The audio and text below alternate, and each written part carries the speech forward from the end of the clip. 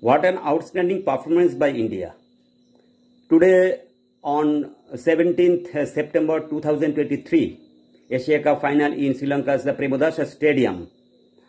India uh, thoroughly defeated uh, Sri Lanka. Sri Lanka just scored uh, 50 in 21.3 overs. Uh, Mohammad Siraj uh, took 6 wickets in just 7 overs and gave only 21 runs.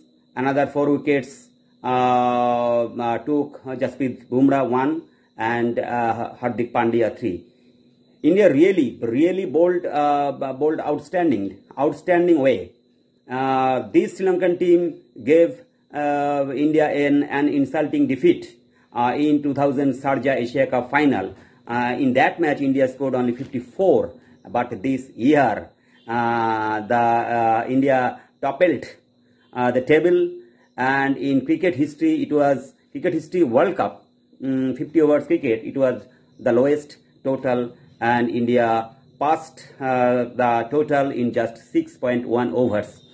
Uh, this is uh, really this is really uh, an, a great achievement, especially before uh, uh, World Cup final, which is going to be held on October.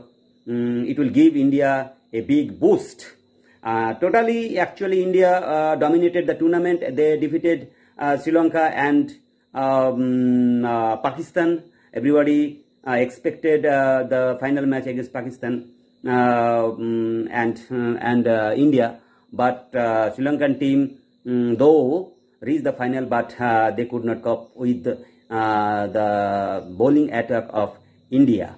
Um, really, really, really outstanding performance.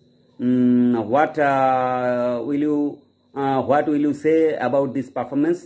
Uh, I am expecting uh, your comments against uh, my uh, my- this video presentation. Thank you.